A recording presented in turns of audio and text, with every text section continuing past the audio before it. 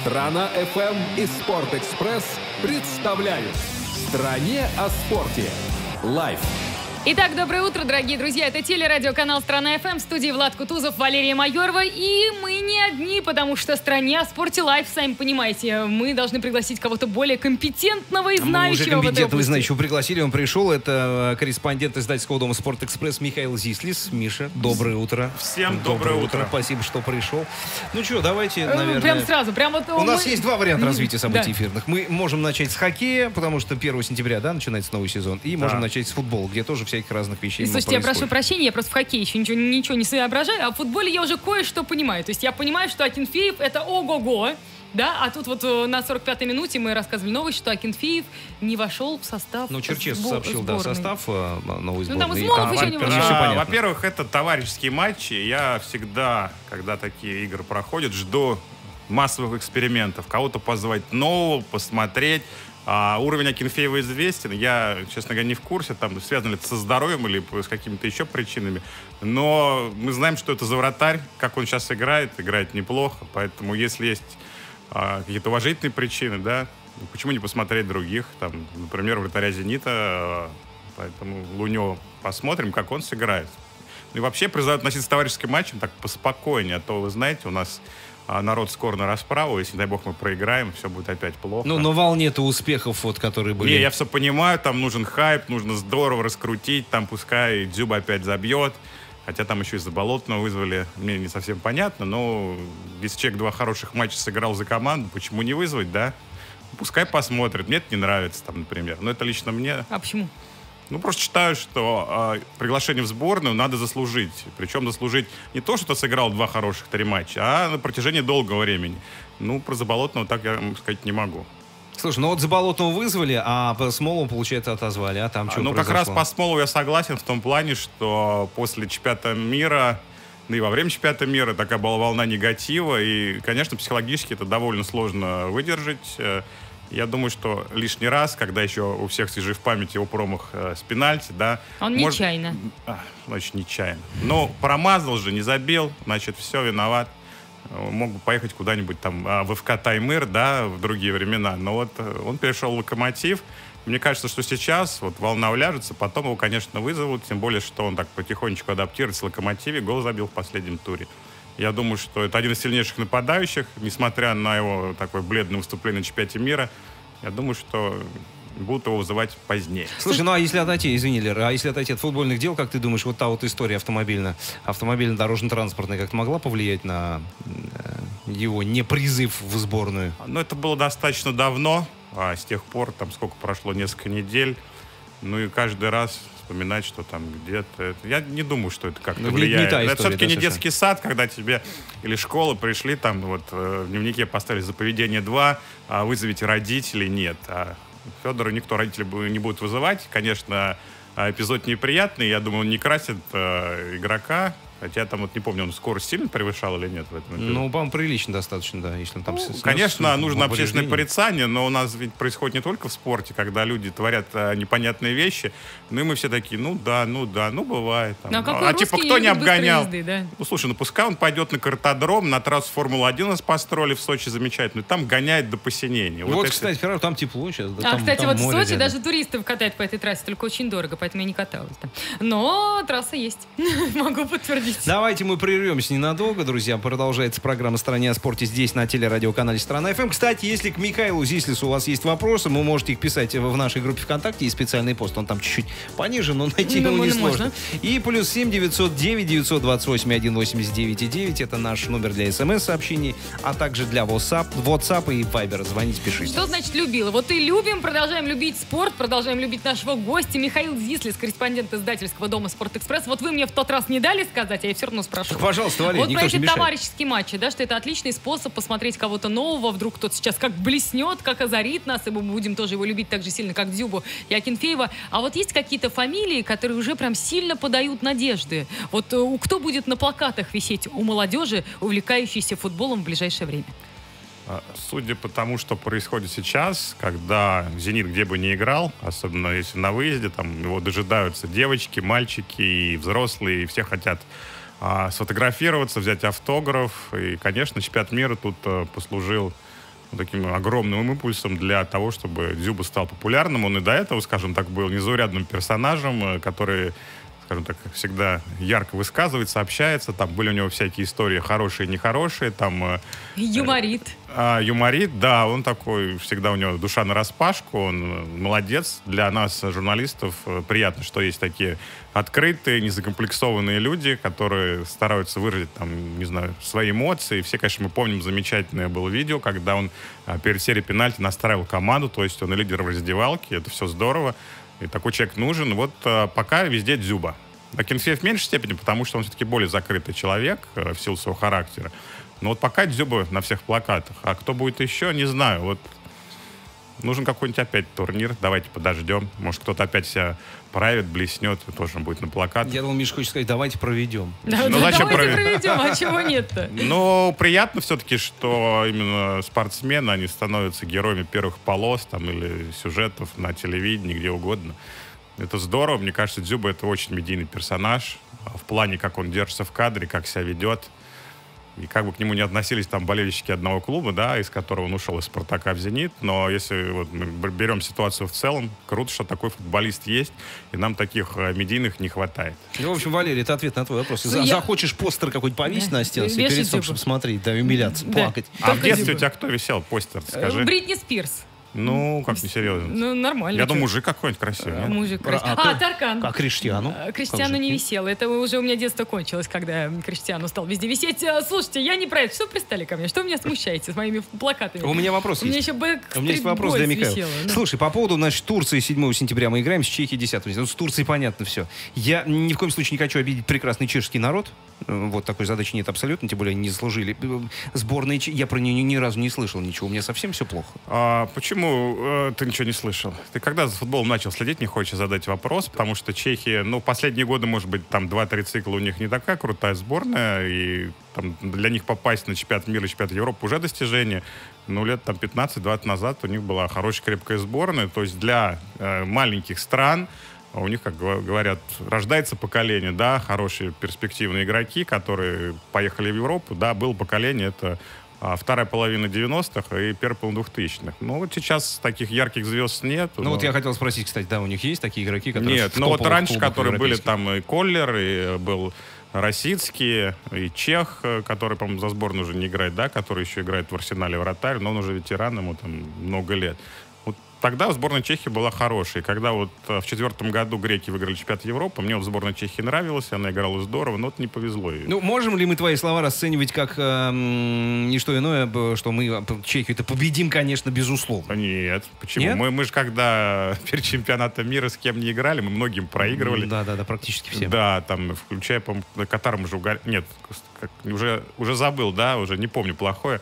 То ли Катар, то ли Коста-Рики мы угорели, я уж не помню. И, По-моему, Катар мне сейчас Коста-Рики проиграли, да, я уж вот боюсь сейчас ошибиться. Не- не Извините меня заранее. поддержки в наших глазах. Ну, я думаю, ты мне хоть подаришь какую-то надежду, уверен в своих Не- силах. Нет, не не- даришь. нет. Не так плохо, мне много лет исполнилось на этой неделе, да, Да все. ты что? что? Подожди, подожди, надо же было с этого начинать. День рождения сейчас, мы сейчас сделаем небольшой перерыв, а после чего поздравим Ми- А Михаила. после этого Перерыв. уже- Перерыв Да, я хочу сказать, что сборная России тоже, несмотря на чемпионат мира, это не значит, что мы стали сразу там уровня Испании, которую мы обыграли по пенальти, или Хорватии, с которой тоже до пенальти доигрались. Нет. Стабильность признак мастерства. Один турнир, к которому готовились столько лет, ничего не показатель. Поэтому говорю, что мы, мы сейчас Турцию обыграем, Чехию обыграем.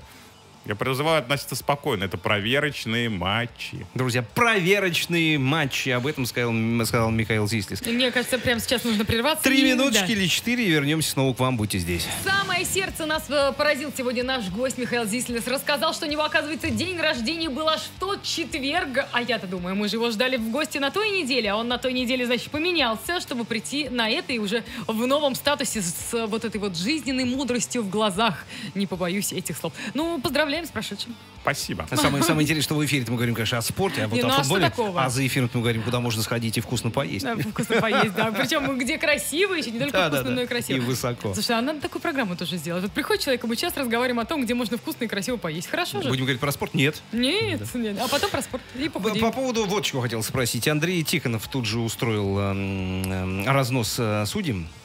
Я скажу сразу, я не видел а, ни хайлайтов, да, ни матч не смотрел. Был занят немножко другим по работе.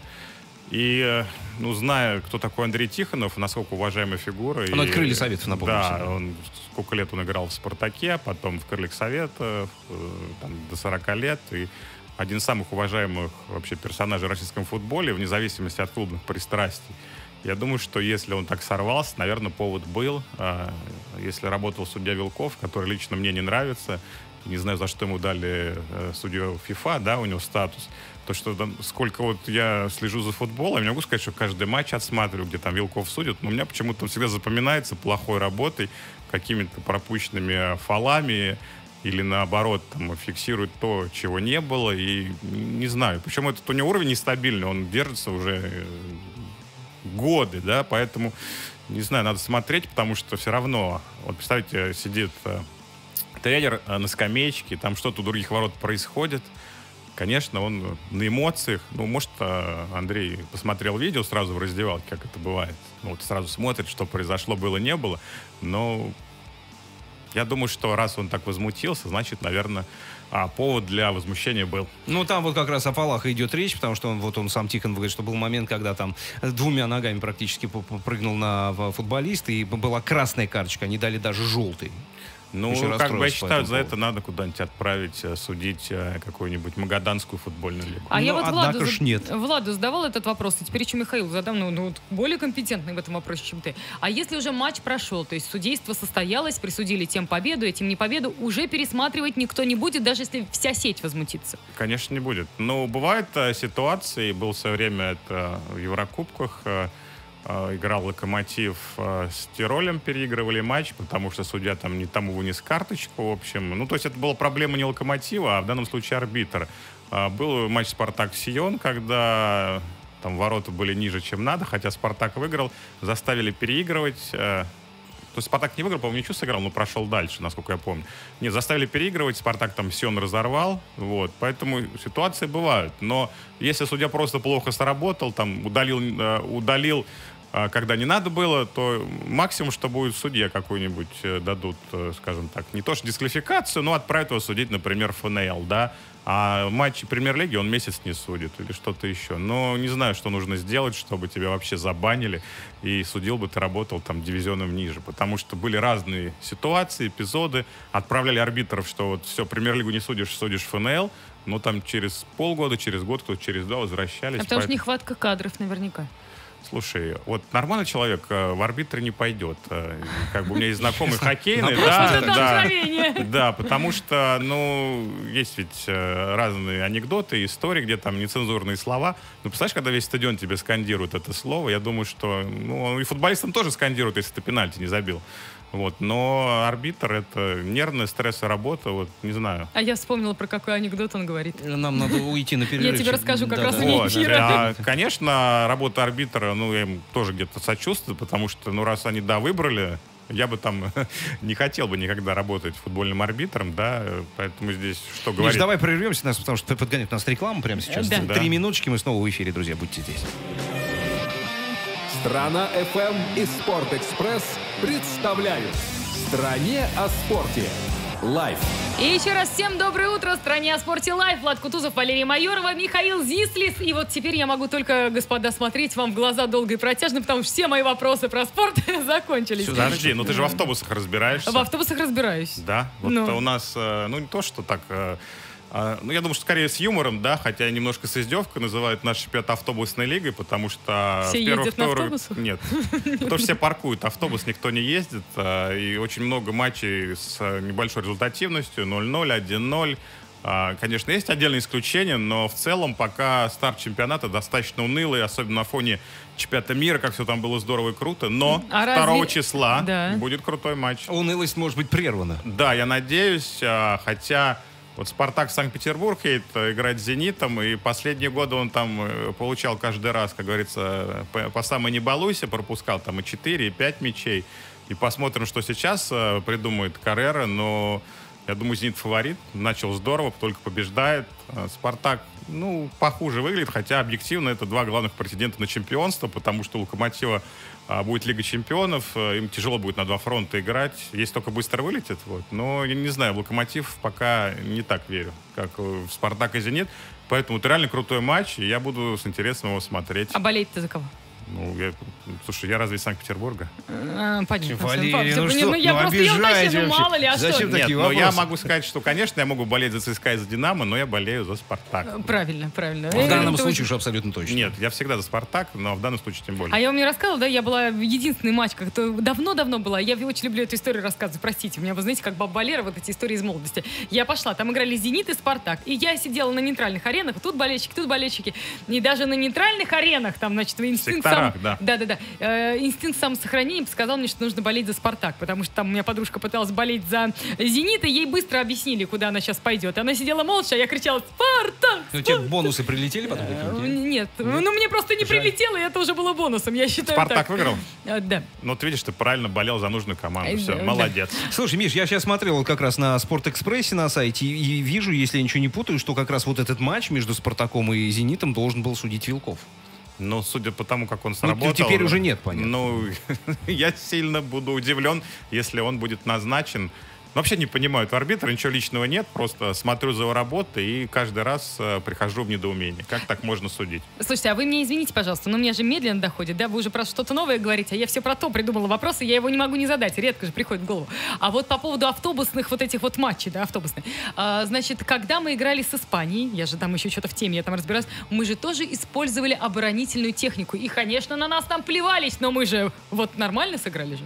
Ну, хорошо. Ну. Но когда команда... В чем прево- вопрос, да, хотела Когда превосходит тебя значительно классом, то это нормальный ход. Но у нас, э, и когда играют команды, которые находятся в середине, внизу турнирной таблицы, где там нет такого различия в классе, они тоже играют не особо весело. Хотя мне понравилось, вот Урал играет весело. Мне нравится. То, что попадаю на матчи, они там все-таки как-то в атаку и туда-сюда, это смотрится. Потому что главное это зрелище. Ты как в цирк приходишь, смеешься, улыбаешься. А когда э, смотришь на чемпионат, э, то больше, по большей части приходится грустить там, и обязательно брать пиво, потому что так смотреть на трезвую голову Мы, тяжело. мы за здоровый образ жизни. Я что хотела еще сказать про автобусы и, и про цирк.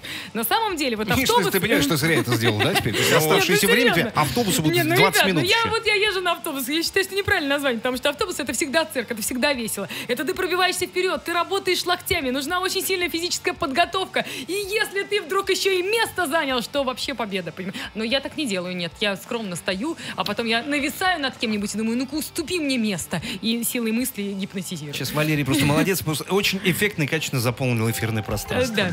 Большое тебе спасибо. Да, не, прервемся. не- не катайте с ней в одном автобусе, потому что вам ничего не светит хорошего. Ничего, я, я вообще в автобусе я страшна. Не будьте Валерией Юрьевной Майоровой. Я такая одна, таких как я больше не надо. Друзья, «Стране о спорте» продолжается. Три минуточки, мы снова вернемся к вам в эфир. Доброе утро еще раз всем, кто слушает «Страна ФМ». Страна FM и Спортэкспресс представляют в «Стране о спорте». Live. О чем мы только не говорим вне эфира, но вот в эфире мы говорим только о спорте. И знаете, вот как-то так э, заявлено-то было сегодня, что будем говорить не только про футбол, но и про хоккей. Но понеслось вот это вот Акинфеев, Дзюба, вот эти вот все дела. А про хоккей будем Вилков, говорить? э, Э, п- Вил- прости Вилков, господи. Да. Ну, это, знаете, как бывает разогрев, когда выступает, э, ну, солидная группа приезжает. Я помню, ходил на концерт U2 давным-давно. И перед ним кто-то выступал, я не помню название. Но э, у меня тоже самый футбол, я уже не помню. Да, ничего. Самое главное, что начинается хоккейный чемпионат, КХЛ, 11 сезон. А, как раз 1 сентября будет матч э, между Акбарсом и ЦСКА. Посмотрим, что будет интересного. Вот. Но я думаю, что этот сезон интересен в первую очередь э, тем, что фавориты стали чуть послабее, ну, кроме Казани, наверное, да? Остальные не то, что подтянулись, но уехал Ковальчук в НХЛ. э, э, Воинов пока непонятно куда и где будет, но в Sky его, скорее всего, не будет. Ну, это если он в Северной Америке все-таки продолжит карьеру. То есть э, тренер новый пришел в СКА, Знарок пока без работы, но очень хочет вернуться. Вот. С ЦСКА там что-то не срослось. Э, Могут быть какие-то другие варианты. В общем, э, с точки зрения интриги, э, ну, понятно все равно, что СКА, ЦСКА, Барс, они так остаются фаворитами, но не такими безоговорочными. У нас э, Омск А, Пришел туда тренер канадский, Боб Хартли известный. К сожалению, вы, наверное, историю-то слышали, что там у них дворец фактически поплыл. Будут играть они в Балашихе вместо Омска. О, Весь слушай, а сезон. Как это расскажи, расскажи, Вот это мне не слышали. Нет, потому но сезон, а, значит, ну, как минимум сезон они будут играть здесь. Дело в том, что у них э, проблемы с ареной, которую построили только в 2007 году. И там все плохо, потому что она на берегу Иртыша, как раз на том, где надо было строить с, э, с учетом всех а, особенностей природы. Которые не ушли, естественно. Ну, естественно, там ну, уже не скрывать, что там первоначальный проект, под который давал деньги Абрамович, он, когда приехал на открытие дворца, он так удивился, что он чуть-чуть пониже, там как-то отличается от первоначального проекта, хотя вроде был австрийский, но австрийцы начали строить, заканчивали там уже какие-то места. Ну, в общем, длинная история. Э, Факт таков, что он в аварийном состоянии, играть нельзя, больше играть в Омске негде. Вот, поэтому они пока переехали э, в Балашиху. Слушайте, такая трагикомичная история. Ну, именно так, потому что Омск, к сожалению, один из самых депрессивных городов, в том плане а, из больших городов крупных, и тут э, болельщиков постигло такое несчастье, и они будут не знаю, смотреть по телевизору, да, много выходцев из Омска живет в Москве, в Подмосковье, они, конечно, будут ездить, но, конечно, это все не то. Ситуация э, парадоксальная. Я не, не готов сказать, что такого никогда не было, потому что а, в Национальной баскетбольной ассоциации э, был э, такой момент, когда там был какой-то ураган, и в Нью-Орлеане там, по-моему, тоже арену повредила, и команда уехала в Оклахому на два года. Потом она вернулась, по-моему, на два года или на полтора, не помню уже сейчас точно, вернулась, но в Оклахоме тоже команда появилась. Это общем, когда Орлеан затопило, видимо, да, да, вот вот там, ну, там было наводнение, Да, ураган да, и да, так да. далее. Слушайте, а можно мне лирическое отступление про Омск? Ну, прям быстренько. Ну, попробуй. А вот э, сейчас Омск опять он в топах, вот все эти мемасики и так далее и тому подобное, потому что какой-то пользователь выложил в сеть фотографии, там детская площадка, все нарядненько, каруселька, качелька. колючая проволока, да? И колючей проволокой обмотанной. Когда спросили, а, собственно, для чего? Э, Ну, чтобы дети не могли выйти. Он говорит, нет, чтобы другие посторонние не могли на детскую площадку войти. Вот. Ну, естественно, интерпретация всякая разная, вплоть до того, что детей готовят с малых лет. Э, Вот, это было все лирическое отступление. Нет, под ну это частный детский сад, и, конечно, все, вообще все эти приколы с Омском, они смотрятся забавно, да, вот почему-то я часто встречаю, э, ну, не только с детским садом связано, там же э, целая здоровая история, как там начали строить метро, а в итоге, конечно, его нигде не построили. В общем, очень смешно, а с другой стороны грустно. Вот. А что касается чемпионата, не знаю, я всегда люблю смотреть первый месяц, всегда крутой, в отличие от футбола, где там говорят, ой, еще не в форме, там мы играем ну, главное не пропустить. Ха- Раскачивается долго там. в хоккее повеселее, потому что еще есть у всех силы, мотивация, еще ни- ничего не проиграно. Начало сезона, все бегут, все будет очень круто, интересно. А, много перемен, перестановок уже есть, еще может быть. Я не знаю, на мой взгляд, э, один из самых интересных, ну, по ожиданиям турниров за последние годы. И я жду с нетерпением и призываю всех смотреть, ходить, тем более комфортно. Сейчас в Москве а, команды играют в современных дворцах, Динамо на Мегаспорте, а с э, января поговаривали, там, с февраля на новую арену перед в Петровском парке. А, Спартак и ЦСКА играют вместе, там тоже был большой скандал, как так, играют на одной арене, да, два врага, тем более арену переименовали, сейчас она называется арена ЦСКА. Ну, суть не в этом. Суть э, в том, что приятно прийти посмотреть, э, покушать. Жаль, только пиво не продают, в отличие от Северной Америки и некоторых городов, да, где это в порядке вещей. Слушай, а собирались же пе- пересмотреть закон, по-моему, ну вот собирались, э, это все, я думаю, исходит от а, силовиков, которым всегда боятся, что тут что-то произойдет. Хотя сколько вот чемпионат мира был, ну, проблем никаких не было. Слушай, ну а потом все-таки хоккейная публика, она более э, спокойная, нежели футбольная. Ну, я тебе могу сказать, что, во-первых, под крыш, ты приходишь после работы, потому что в основном футбольные матчи они проходят на выходных. А хоккейные они проходят э, всю неделю. Ты приходишь, там что-нибудь покушал, пивка выпил, посмотрел. Уже хорошо, даже не важно, как Слушай, сыграли. мне, мне кажется, это прекрасно, что сегодняшний спортивный, кстати говоря, эфир мы заканчиваем на пенном напитке и еде. Да. А еще И все это вторник. утром, А всего это утром, во вторник вторник, да. утром, да.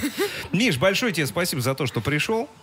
У нас в гостях был корреспондент издательского дома «Спортэкспресс» Михаил Зислис. Ну и мы тоже были вместе с вами. Здесь Валерий Майорова. И, конечно же, Влад Кутузов. Завтра в 7 утра мы здесь как штык. Хорошего настроения. Встречайте Лизу Калинину и Романа Шахова. Уж они-то тоже. Ну, не, не- не- не прям не больше нас. Ну, как мы будут Все, зажигать. заканчивай. Пока. Всем счастливо.